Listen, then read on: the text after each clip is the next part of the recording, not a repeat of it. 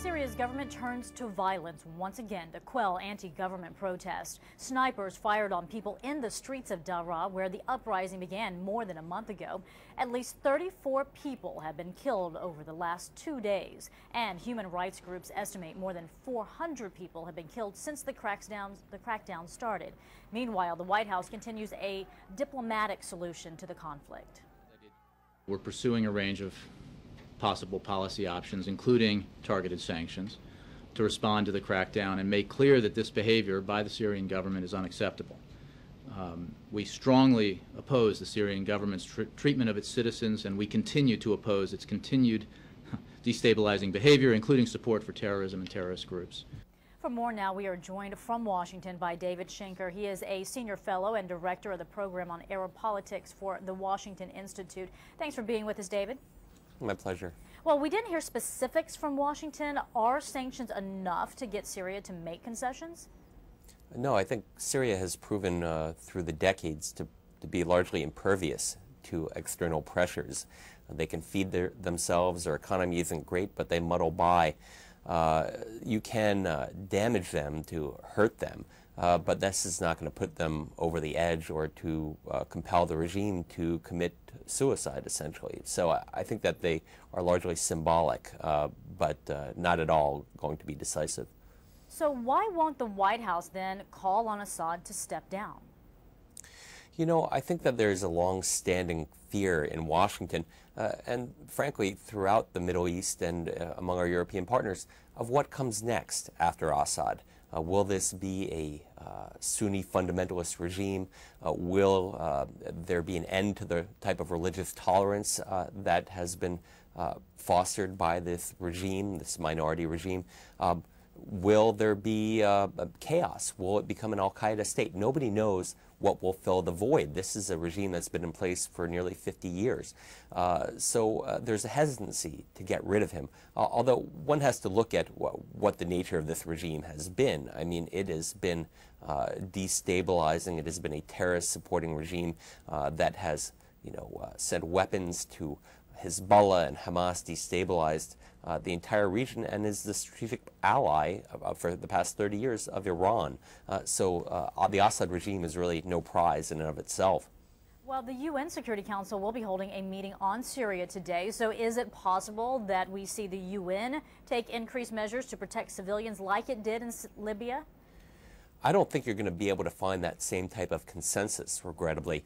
Uh, Syria and the Assad regime has managed to keep one foot throughout the years in this axis of resistance, uh, the support for terrorism, uh, alliance with Iran, and at the same time uh, to have uh, acceptability in Europe, to, uh, to have Assad go to Paris and stroll the avenues, his wife being photographed in Vogue magazine. Uh, he has managed to do this, and I think he has a lot of support and friends, uh, among them China and Russia. Uh, we're going to have a hard time, for example, in the Security Council getting the same type of support we got from Lebanon uh, that we did uh, certainly on Libya. I think uh, it's a more uh, divisive issue that we're unlikely to get international consensus about, certainly regarding any military action. Want to switch gears now to Libya. This week, NATO bombed one of Gaddafi's compounds in Tripoli. And yesterday, Defense Secretary Robert Gates said this about the attack. Take a listen. Those centers are the ones that are commanding the forces that are uh, committing some of these uh, humanitarian um, uh, um, violations of uh, humanitarian uh, rights, uh, such as in Misrata. Uh, so we consider them legitimate targets. Uh, we are not uh, targeting him specifically. All right, so break this down. What does this mean? Does it mean that we're going to see intensified military pressure applied to Gaddafi?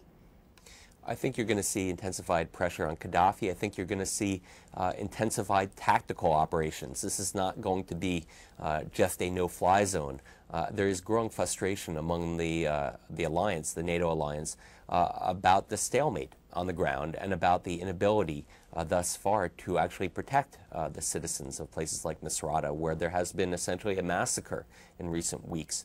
Uh, and so, you know, in this regard, I think we're going to really see an op tempo in the operations from the air and, uh, you know, and, and dip diplomatically uh, to keep a focus on this. Uh, you know, this has been incredibly uh, divisive among the NATO partners. There's a lot of sniping uh, among the partners.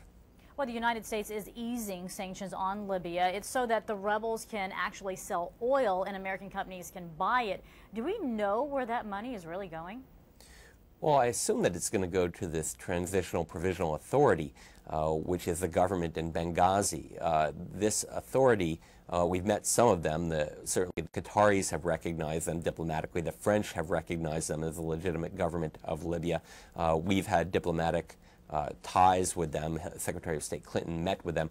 We know who the council is, or many of the members of the council are. Uh, what we don't know, though, is what they're going to do with the money and what the future government of Libya will look like. Um, we hope for the best, uh, but we know that there, are, there is, uh, for example, a, a large Al Qaeda presence, or certainly a historical Al Qaeda presence in Libya. Uh, there's the Libyan Islamic Fighting Group uh, that was uh, established in the 90s, uh, that in, the, in the east, in Cyrenaica, in the east of Libya, and uh, this group actually merged with Al Qaeda about a decade ago, and Libya was the second leading source of insurgents who flew uh, into Syria and entered Iraq to kill Americans and destabilize Iraq. So there is this presence on the ground, and there are many jihadis who are now showing up and uh, taking part in the military operations against Gaddafi.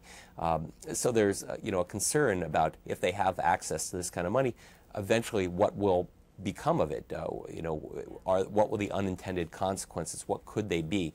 Uh, in the meanwhile, though, the focus is really on Gaddafi, and this government is already signing contracts, not just with us. They signed a $300 million deal with the Qataris a few weeks ago. Hmm. All right, David Schenker from the Washington Institute. A lot of insight there. We thank you for being with us. Thank you. My pleasure.